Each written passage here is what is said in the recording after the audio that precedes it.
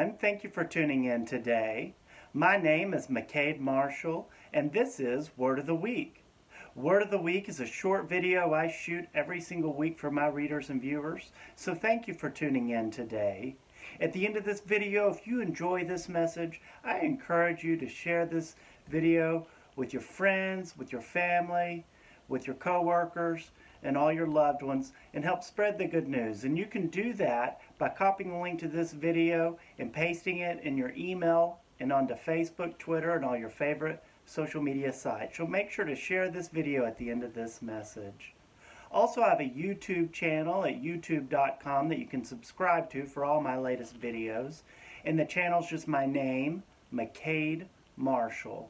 And if you would like to be on my emailing and mailing list, you can go to mckademarshall.com, click on the Word of the Week tab, fill out the form there, and I'd be more than happy to email you these videos every single Sunday evening free of charge. So make sure to check that out at the end of this message. All right, well, the Word of the Week for this week is be on the alert.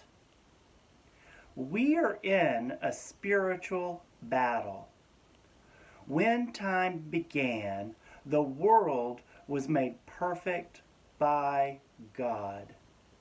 However, when Adam and Eve were deceived by the devil, who came to them in the form of a serpent in the Garden of Eden, they were tempted, bit into the forbidden fruit, and sin entered the world.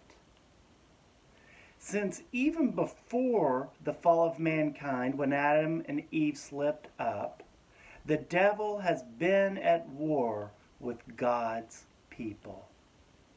Because we have an enemy called Satan or the devil, we need to be on the alert. This is what the apostle Peter tells us in 1 Peter chapter 4 verse 8 saying, "Be of sober spirit. Be on the alert. Your adversary, the devil, prowls around like a roaring lion, seeking someone to devour. The devil is the enemy of God's kingdom. He is looking for people to devour and consume. Just as he saw an opportunity to deceive Adam and Eve after God told them not to eat the fruit from only one particular tree in the Garden of Eden, Likewise, he is also looking for ways to tempt us to stumble in sin too. Jesus tells us the, the devil's true nature when he tells his disciples in John chapter 8 verse 44. The devil was a murderer from the beginning. He has always hated the truth because there is no truth in him. When he lies, it is consistent with his character. For he is a liar and the father of lies.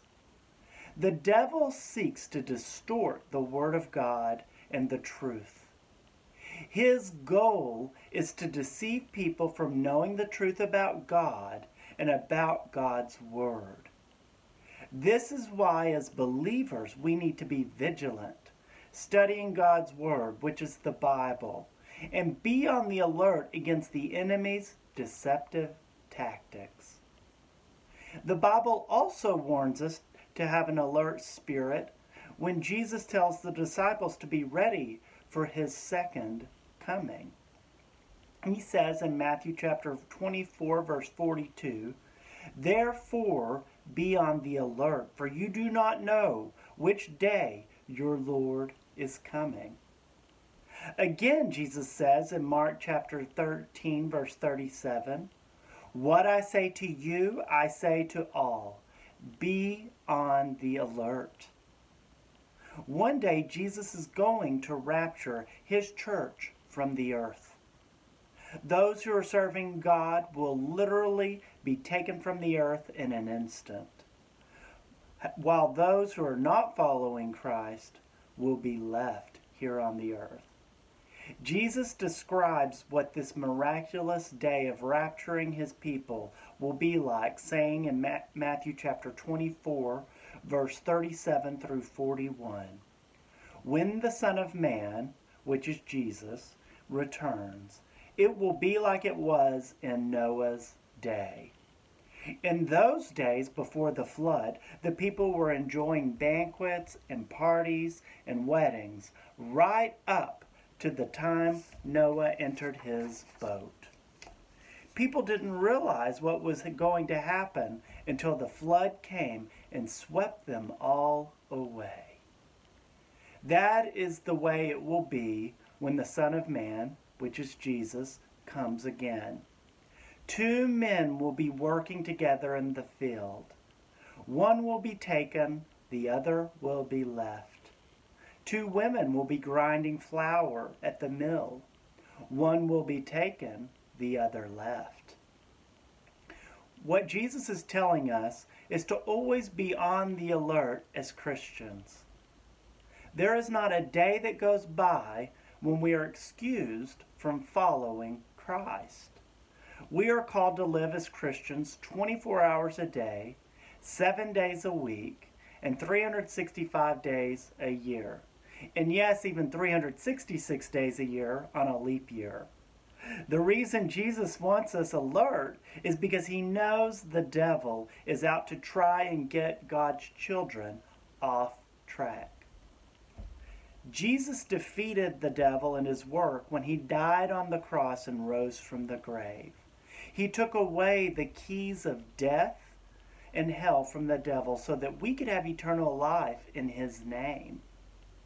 For this reason, the devil is very angry and know the clock is ticking before he is thrown into the lake of fire forever by God in his condemned judgment.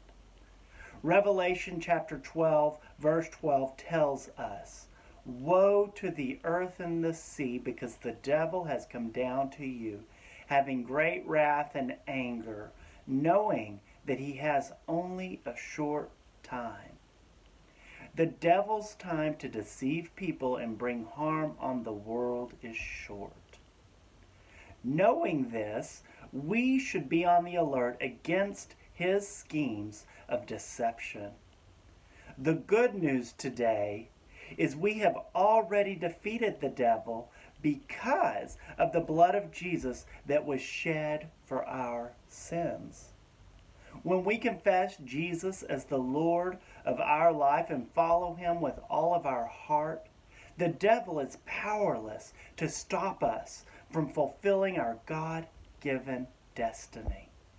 However, he will do all he can to try and limit or delay you from fulfilling your purpose. The key to defeating the enemy as we pursue our dreams is found in James chapter 4 verse 7 which says, "So humble yourselves before God, resist the devil, and he will flee from you." When you humble yourself before God, saying no to your carnal desires and yes to the promises found in God's Word, then a supernatural power is released, enabling you to go further and accomplish more in your lifetime than you ever thought possible. Jeremiah chapter 1, verse 12 tells us God is watching over His Word at all times to make sure it is carried out to completion. This means when you place your trust in God and what He says He is going to do in the Bible, then you have God and His mighty angels moving on your behalf to make things happen. Be on the alert. The enemy is not going to sit idly by while you pursue God and all the amazing plans He has in store for you. Be on the alert. Jesus is coming back again, and he seeks to find you faithfully serving him when he does. Be on the alert. You have a divine purpose and destiny to fulfill. By the grace of God, I believe you are coming up higher and going to accomplish every purpose you are created by God to achieve. Well, I want to pray over you really quick that you would get this message about be on the alert into your spirit.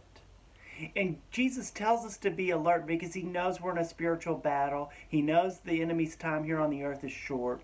And he knows that he is coming back again. When God the Father says, Time is up, it's time to harvest my children out of the earth, he says, Be on the alert, the alert, be watchful. Long to see Jesus Christ because he loves you. He wants you to be with him in his kingdom forever and eternity, where true perfection lives, where true full life exists forever. This world is just temporary. So I want to pray over you really quick that you'd be encouraged in your heart and have an alert spirit to be on the alert against both the enemy's tactics and expectant about Jesus' second return. So, wherever you are, if you want to bow your head and close your eyes and listen along as I pray over this message. Father God, thank you so much for giving us an alert spirit. Father, as we go about our days, help us to be on the alert both against the enemy and also to be on the alert for what you're doing in our lives and to know that there really is a rapture coming one day when the trumpets sound. You're going to call forth your children and we are literally going to meet you in the air. It's a miraculous thing. It's where eternity and earth meet. So I thank you for everyone listening and watching right now that we can be so full of joy, so hopeful, so full of light, knowing that you're coming back.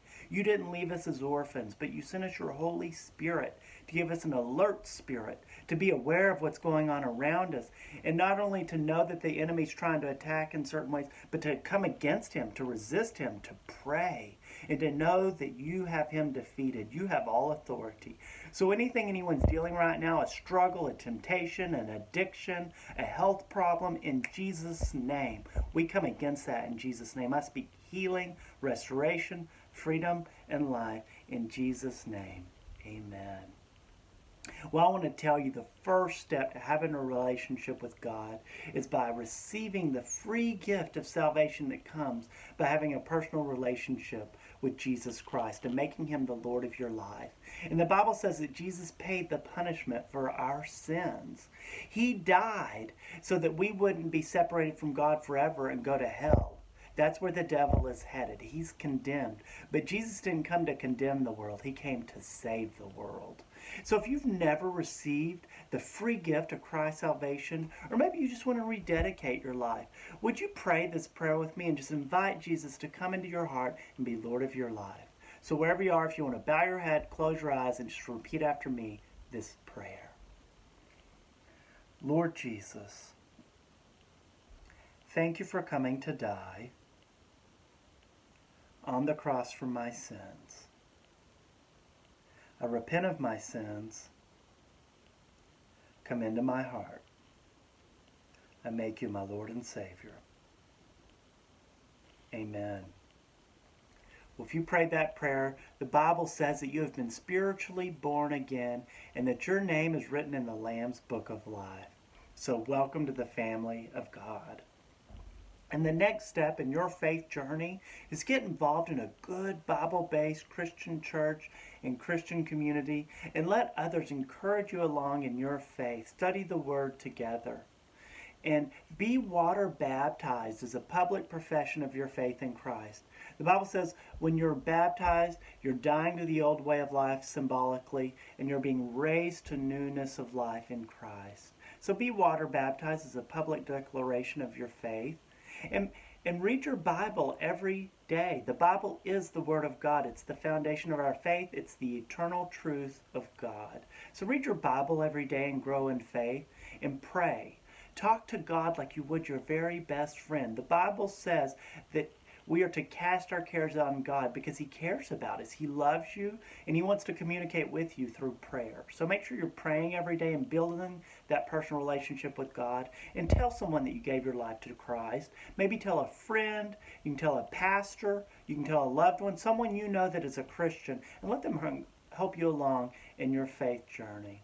And also I have a website with a lot of great resources as well. And my website is just my name, McKade Marshall And on McKadeMarshall.com, there's over a hundred other Word of the Week videos just like this one that you can scroll through and watch and rewatch and share. You can watch it with a friend even. If you'll click on that Word of the Week tab, scroll through those videos and watch some of them. I promise you they will just encourage you in your faith and help you to learn new things about God. And also, I'm a writer and I mail out newsletters free of charge every three months to my subscribers. So if you'll click on that newsletters tab, fill out the form there. I'd be more than happy to add you to my mailing list and mail you my latest newsletter. And also, I have a few books on my website that you can order, and I'd be more than happy to sign those books and ship them to you. And the latest book I wrote is called Finding Your Keys. And Finding Your Keys has 12 different keys or spiritual truths that will unlock the supernatural power of God for you to take authority over the enemy and to, to have more authority as a Christian in your life that Christ has already given you. So it's a great read to empower you to live with the authority that was meant to be yours. And another book I wrote that you can check out as well is called Breathe. And Breathe is all about God breathing new life into your God given dreams. And at the end of each chapter of Breathe, there's prayers you can pray full of scriptures that will just help you in your prayer life as well. And the first book I wrote that you can order is called Tasting the Goodness of God. And Tasting the Goodness of God is a 31 day daily devotional I wrote to help you learn how to spend time with God each and every day. So if you don't have a copy of my books, Finding Your Keys, Breathe, or Tasting the Goodness of God, check those books out. I'd be more than happy to sign them and ship them to you. All right, well, in closing, I just want to declare a special blessing over you. I declare you are on the alert.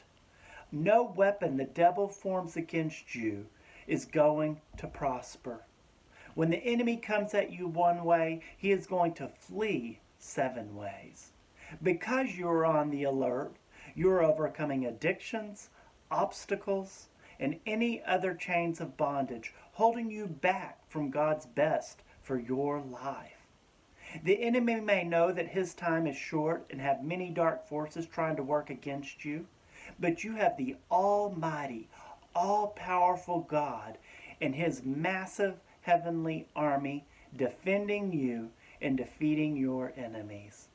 With God's help, there is nothing you cannot achieve in Jesus' name.